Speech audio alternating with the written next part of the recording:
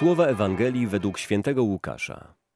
Jezus powiedział do swoich uczniów: Powiadam wam, którzy słuchacie: Miłujcie waszych nieprzyjaciół, dobrze czyńcie tym, którzy was nienawidzą, błogosławcie tym, którzy was przeklinają, i módlcie się za tych, którzy was oczerniają.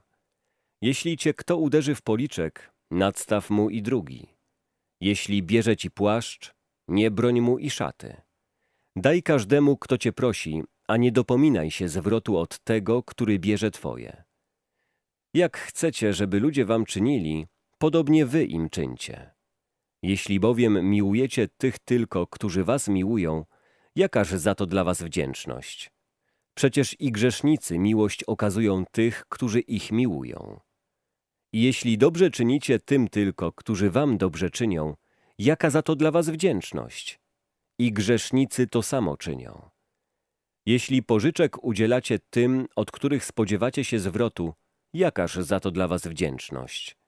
I grzesznicy grzesznikom pożyczają, żeby tyleż samo otrzymać. Wy natomiast miłujcie waszych nieprzyjaciół. Czyńcie dobrze i pożyczajcie niczego się za to nie spodziewając. A wasza nagroda będzie wielka. Będziecie synami Najwyższego, ponieważ On jest dobry dla niewdzięcznych i złych. Bądźcie miłosierni, jak Ojciec wasz jest miłosierny. Nie sądźcie, a nie będziecie sądzeni. Nie potępiajcie, a nie będziecie potępieni.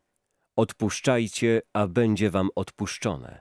Dawajcie, a będzie wam dane. Miarą dobrą, natłoczoną, utrzęsioną i opływającą wsypią w zanadrza wasze. Odmierzą wam bowiem taką miarą, jaką wy mierzycie.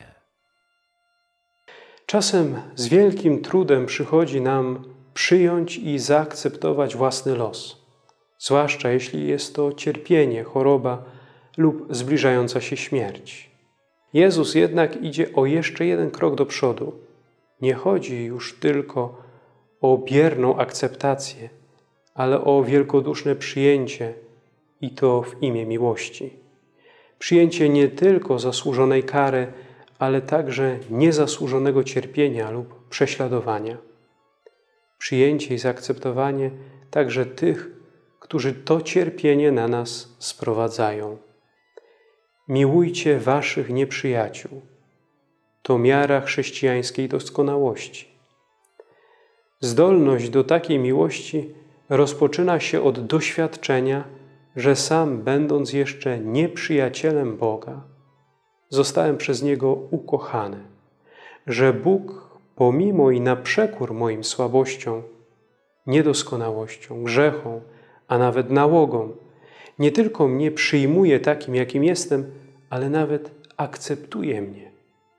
Kolejnym krokiem jest dostrzeżenie w innych ludziach stworzenia i dzieci Boże, tak samo i bez żadnej różnicy miłowane przez niebieskiego Ojca, tak jak ja przez Niego jestem umiłowany. Miłość nieprzyjaciół to zdolność rozdzielenia czynu od sprawcy. To zdolność kochania na przekór wszystkiemu.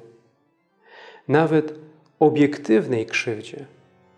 Ten rodzaj miłości jest miarą chrześcijańskiej doskonałości, do osiągnięcia której wezwany jest każdy z nas. Prawdziwa miłość usuwa z serca chęć zemsty, szuka dróg prowadzących do zgody i pokoju.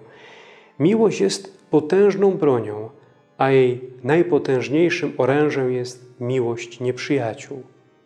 Uczmy się miłości od Chrystusa, naśladujmy Go, aby tak jak On pokonać wszelkie zło i doprowadzić do triumfu dobra nad złem miłości nad nienawiścią.